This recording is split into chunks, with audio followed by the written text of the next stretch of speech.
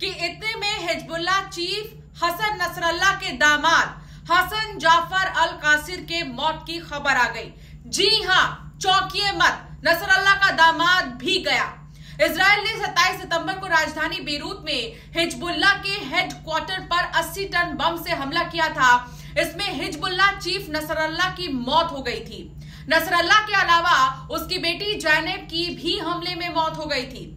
एक रिपोर्ट के मुताबिक, सीरिया के दमिश्क शहर के करीब हवाई हमले में उसके मारे जाने की संभावना जताई जा रही है। हसन जाफ़र कासिर बुधवार को बेरूत में एक हवाई हमले में मारे गए मोहम्मद जाफ़र कासिर का भाई है। हसन की मौत हिजबुल्ला के लिए एक और बहुत बड़ा झटका है, क्योंकि इसराइल के खिलाफ उसका नेतृत्व कमज़ोर हो रहा है। आपको जानकर हैरानी होगी, हिजबुल्ला चीफ की मौत के बाद से इराक में हसन नसरल्ला के नाम पर नवजात बच्चों का नाम रखने का चलन बढ़ा है। इराक की हेल्थ मिनिस्ट्री के मुताबिक पूरे देश में लगभग 100 बच्चे का नाम नसरल्ला नाम से रजिस्टर्ड किया गया है। कासिर बंधु 1982 के लेबनान युद्ध के बाद से आतंकवाद में गहराई से शामिल रहे हैं। अहमद कासिर अपनी कार में विस्फोटक भरकर एक इजरायली बेस में घुस गया था। इससे उसमें मौजूद विस्फोटक फट गया। लेबनान के इतिहास में ये पहला आत्मघाती हमला था। अहमद को हिजबुल्ला के संस्थापकों में से एक, इमाद मुगनिया की ओर से निर्देशित किया गया था। 2008 में दमिश्क में इसकी रहस्यमय तरीके से हत्या कर दी गई थी। मोहम्मद जाफ़र कासिर इतना कुख्यात था कि अमेरिका ने उसके मरने या पकड़वाने के लिए सूचना देने वाले को 10 मिलियन डॉलर, जिसकी कीमत लगभग तिरासी करोड़ बताई जाती है, इसका इनाम ऐलान कर दिया गया। साल 2018 में अमेरिकी ट्रेजरी विभाग ने उसे विशेष रूप से नामित वैश्विक आतंकी घोषित किया।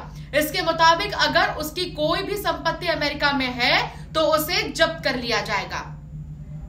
हिजबुल्ला के आधिकारिक समाचार बुलेटिन अल अहद के मुताबिक अहमद के हमले ने सभी शहीद अभियानों की शुरुआत को बढ़ाया।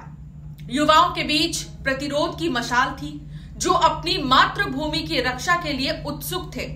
हिजबुल्ला हर साल अहमद की मौत को शहीद दिवस के साथ मनाता था। अहम के भाई मोहम्मद और हमास दोनों हिजबुल्ला के रैंक में उभरे।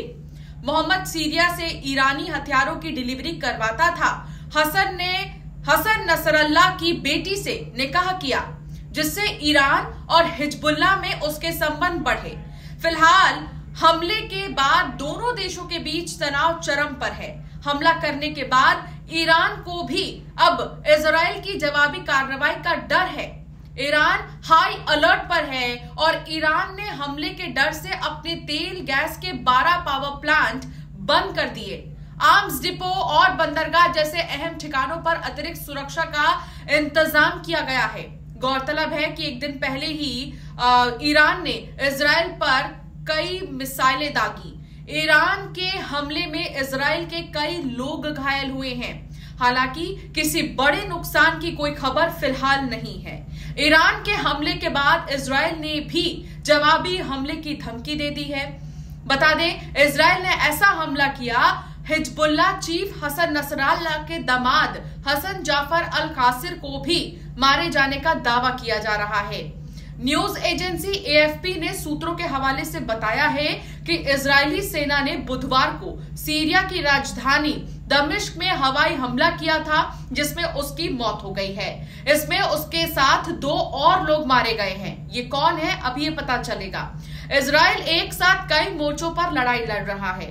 इसराइली सेना लेबनान में हिजबुल्ला गाजा में हमास, यमन में हूती विद्रोही के अलावा सीरिया और ईरान का सामना कर रहा है।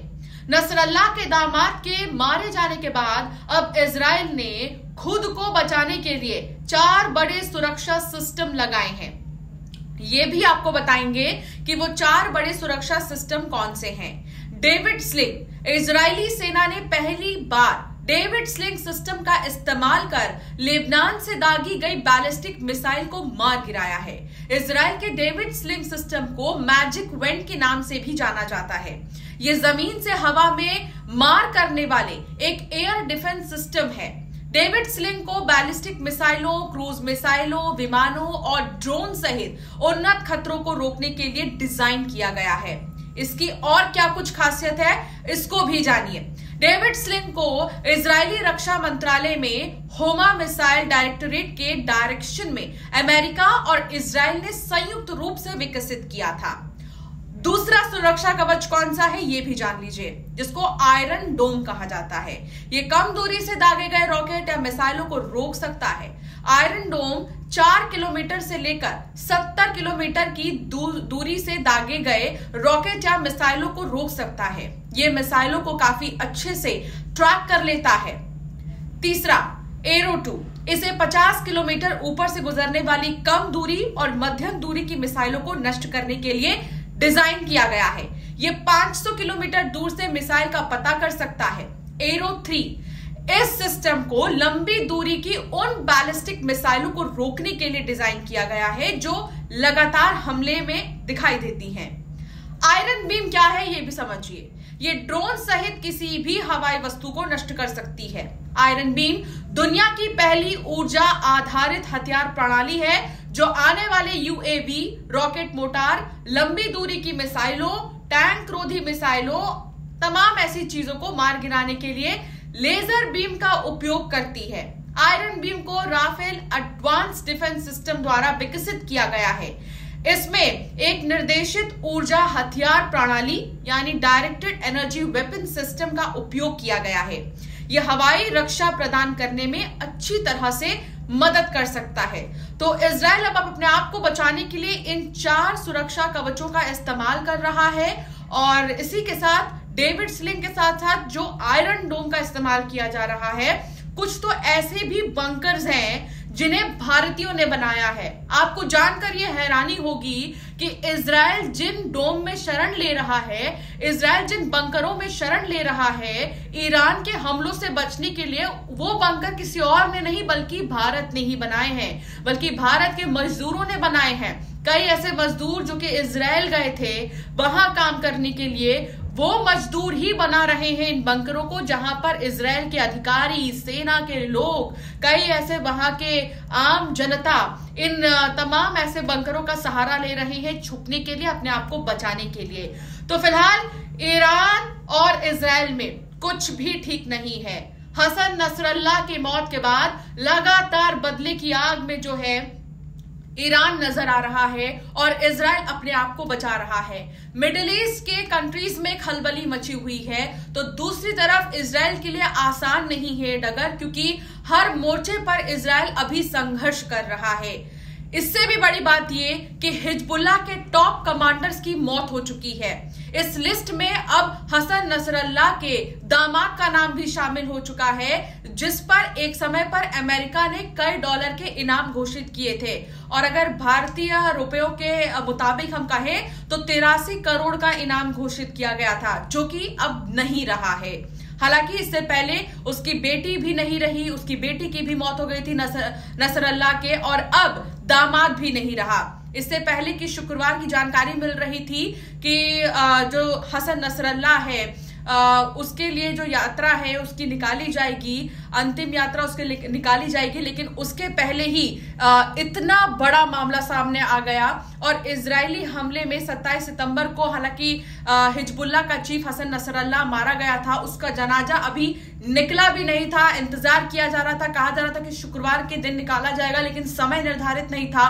उसके पहले ये खबर अब दामाद को लेकर आ गई जहाँ हसन जाफ़र अल कासिर की मौत हो गई है। अब ये देखना होगा कि अगला एक्शन क्या होता है हिजबुल्ला की तरफ़ से, क्योंकि हिजबुल्ला अब और भी ज़्यादा आक्रामक हो गया है, क्योंकि हिजबुल्ला की जो पूरी टीम है, वो कमज़ोर होते जा रही है और अब ज़रूरत है हिजबुल्ला को भी मज़बूत होने की, क्योंकि इसराइल के सामने हिजबुल्ला के कई ऐसे टॉप कमांडर्स जो है, कहीं खड़े साबित नहीं हुए, बल्कि एक के बाद एक हर किसी की मौत हो रही है।